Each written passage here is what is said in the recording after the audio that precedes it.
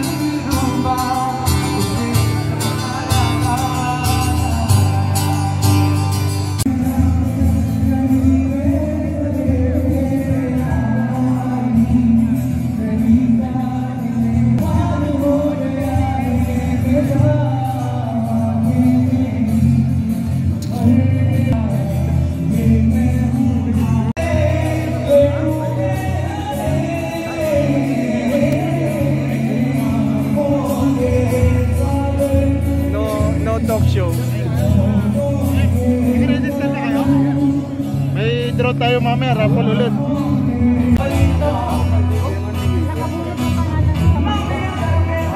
Ano po yan?